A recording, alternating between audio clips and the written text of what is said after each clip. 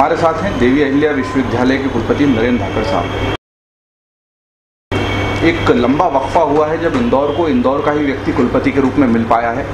इंदौर ने लगातार धारा बावन को थोपा जाना और उसके बाद ऐसे कुलपतियों का आगमन देखा है जिनका इंदौर की ज़मीन से रिश्ता नहीं था। कोशिशें उन्होंने भी की लेकिन लगातार वो देवी अहिल्या विश्वविद्यालय जिसका सितारा शिक्षा जगत में लगातार चमकता था उसमें कुछ न कुछ कमियाँ रहीं। धाकड़ साहब के आने से लोगों में बहुत उम्मीदें हैं और उनने इस चुनौती को सीधे सीधे उसका सामना करना शुरू भी कर दिया है। आपको बधाई साहब सर धन्यवाद और धन्यवाद। अभी बहुत लंबा वक्त नहीं हुआ है लेकिन क्या ऐसी चुनौतियाँ आपके सामने और उनका सामना आप किस तरीके से कर रहे हैं? करने की सबसे बड़ी विश्वविद्यालय की समस्या है यहाँ 300 से साढ़े तीन परीक्षाएँ होती है, वो साल में दो बार होती है।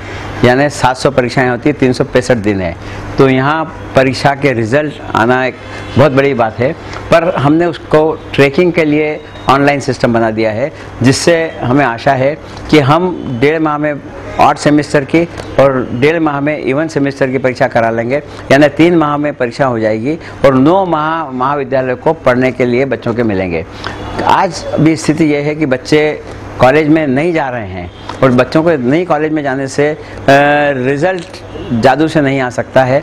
इसलिए मेरा सबसे निवेदन है कि बच्चों को कॉलेज में भेजें बच्चे क्लास में रेगुलर पढ़ेंगे तो निश्चित रूप से उनका रिज़ल्ट सुधरेगा। ये हमारा प्रयास है। एक बड़ी कमी रही जो यहाँ को इंदौर को नहीं समझते तो आपको क्या लगता है कि इससे क्या बड़ा फ़र्क आएगा? क्योंकि आपका तो आपकी पढ़ाई भी यहीं हुई। उसी होलकर कॉलेज में आप प्राचार्य भी रहे। फिर आपने इंदौर के तमाम कॉलेजों को देखा है करीब से।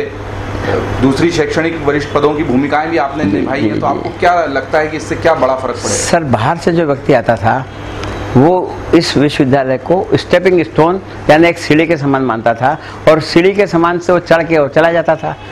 पर क्योंकि मुझे लोकल रहना है, यहाँ मैं जवाबदेह हूँ हर व्यक्ति के लिए, इसलिए मेरी प्राथमिकता ये है कि विश्वविद्यालय को रेगुलर कर दूँ।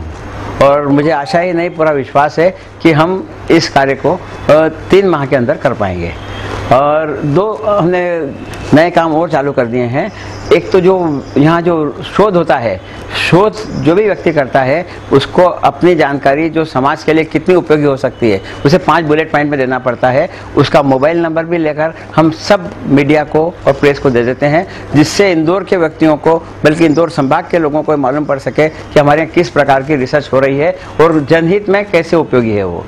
एक और काम हमने जो नया शुरू किया है, वो मंथली एक अंतर्राष्ट्रीय या राष्ट्रीय ख्याति प्राप्त व्यक्ति के व्याख्यान कराने का है, जिससे इंदौर की जनता भी उससे लाभान्वित हो सके प्रोग्राम में आ सके ज्वाइन कर सके।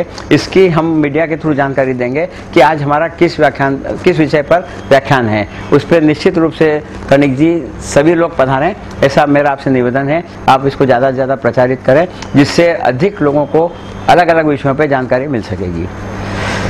हम उम्मीद करते हैं, अभी वक्त कम हुआ है, लेकिन बहुत सारी चुनौतियाँ हैं धाकड़ साहब के सामने। हम उम्मीद करते हैं कि देवी अहिल्या विश्वविद्यालय की शैक्षणिक, साहित्यिक और सांस्कृतिक क्षेत्र में जो धमक रही है, जो धाक रही है, वो लगातार कायम रहेगी और ये नई ऊंचाइयों को छुएगा। इस शुभकामना के साथ। सर, धन्यवाद।